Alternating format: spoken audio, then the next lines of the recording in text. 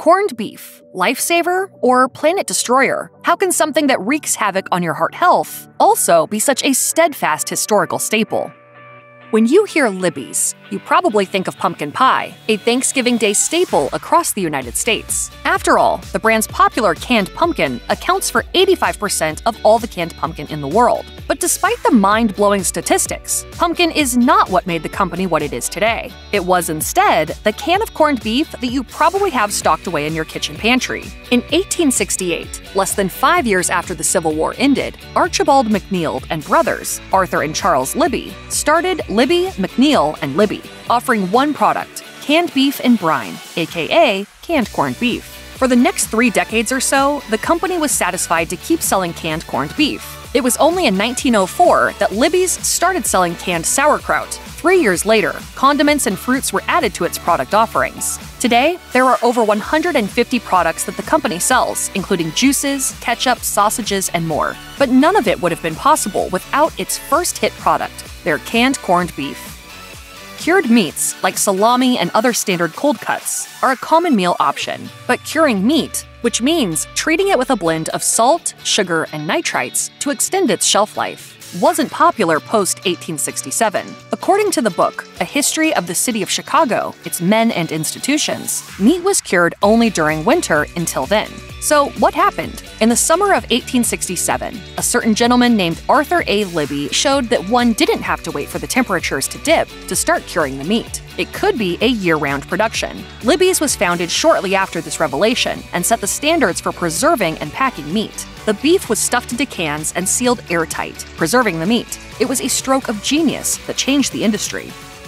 Libby's outgrew their original facility in just a few years. Eventually, it expanded to the then widely popular meatpacking district in Chicago, the Union Stockyards. A number of meat processing plants, pens, and slaughterhouses came together to occupy a 450 acre swath of land that, according to NPR, saw a whopping 13 million livestock sold annually. It also brought in about half a million tourists each year, and while the idea of animal slaughter as a tourist attraction seems bizarre today, it was a big deal then, and Libby's and its corned beef were a part of this important history. According to a history of Chicago, Libby's operations spanned about 10 and a half acres in the multi billion dollar livestock plant, with 2,500 employees helping churn out as many as 5 million cans of meat per month by 1901. Over the years, with the construction of highways and the launch of refrigerated trucks, the many processing plants clustered in the area for easy access to the railroad decided to disperse out to different locations, and in doing so, they left what was once the pride of Chicago to be demolished in 1971.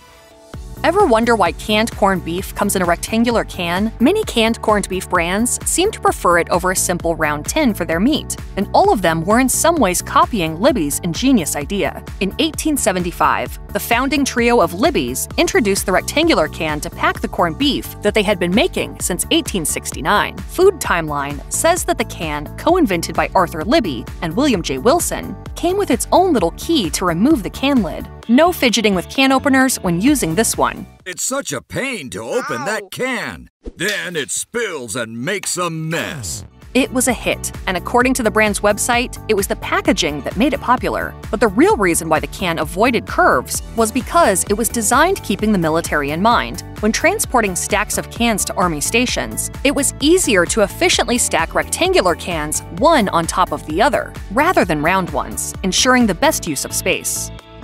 Opting for canned corned beef, no matter what the form, means that you are not being very environmentally friendly. According to Green Choice Now, Libby's corned beef has a very high carbon and water footprint. But it's not just the brand in particular. Beef and lamb are associated with high greenhouse gas emissions compared to, say, pork or chicken. A little more than 2 pounds of beef generates over 130 pounds of greenhouse gas emissions per UK climate change website Carbon Brief. And that's not the only bad news. Just one pound of beef requires 1,847 gallons of water for production, according to the Water Footprint Network. Then, of course, there is the cattle feed, which requires more land and resources. Per a study published in a scientific journal called Animals, 13 pounds of feed is required for a quarter pound hamburger. To make all the food available for the herds of cattle, large areas of forests are cleared to be used as pasture, a practice that affects ecosystems and aggravates climate change. And that can lead to a pretty bleak future.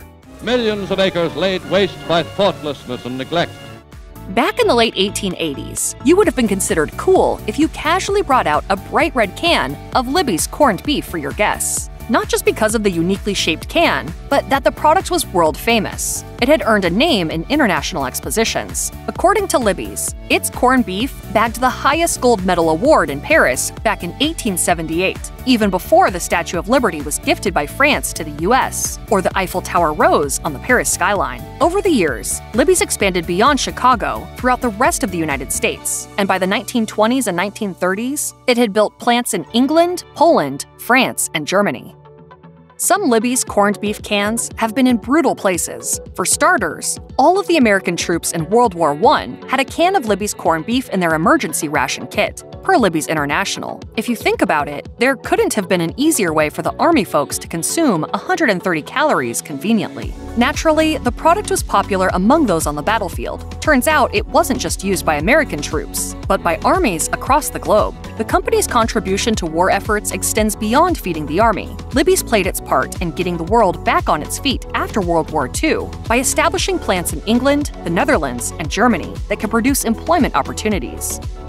First, the good news. Corned beef contains a lot of good stuff that your body needs for functioning well, like protein, vitamin B12, iron, and selenium, which Healthline says is necessary for the growth of thyroid hormones. The bad news, however, is that a serving of Libby's corned beef contains 530 milligrams of sodium, which, if you didn't already guess, is a lot. In other words, too much corned beef is not good for your health. The only consolation is that Libby's also sells corned beef with 25% less sodium in it. With this one, you can enjoy a few extra servings without worrying as much about your heart. Today, it's possible to have breakfast in Paris and dinner in New York on the same day, in part because of the pioneer aviator Charles Lindbergh. While Lindbergh's claim to fame was completing the first solo flight trip from New York to Paris, crossing the Atlantic Ocean in about 34 hours. The National Air and Space Museum says that he also explored different international routes alongside his partner, Anne Morrow Lindbergh. But what has that got to do with Libby's? Turns out, Libby's canned corned beef was among the emergency rations that the Lindberghs carried with them on their flight adventures, per the pioneers of Flight Gallery. This means Libby's corned beef was probably part of the very first flight that charted the path from Newfoundland to Europe. But the product, it turns out, went on more adventures than one. According to Libby's, cans of corned beef were also part of Admiral Richard Byrd's expeditions to the North Pole in 1905. There is little else that equals the feeling of having ready to eat food after a long day of work. Libby's guarantees that comfort. The meat that's inside the can is cooked and ready to be consumed directly out of the can. You don't even have to heat it. While scooping it out with a spoon or fork is one way to eat it, you could also turn the block of meat into cubes or slices and serve them as hors d'oeuvres. Whether you jazz it up with some seasoning or opt for an already flavored one, like corned beef with smoke, is up to you. Corned beef can be a star ingredient in your turnovers, sandwich, or hash. There are tons of good ways to eat canned corned beef, whether it's with an egg or in a delicious appetizer. Plenty of recipes use it as the star of the show, and given its versatility and pre cooked nature, it won't take long to turn a can into a full entree that's as fancy as you want to get.